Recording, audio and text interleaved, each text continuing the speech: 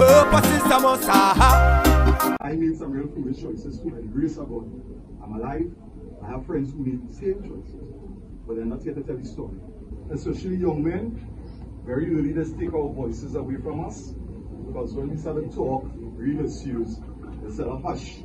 So they say, well, it's a talk, or you can talk, talk, eh? Yeah, girl like thing. Real things affecting you, they hear you, but they're not listening to you.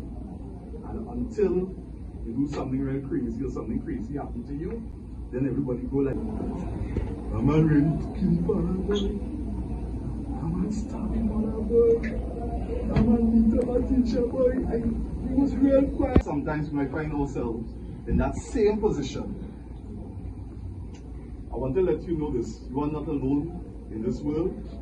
There is nothing that you will go through. Somebody have not experienced already. The choice you make is critical.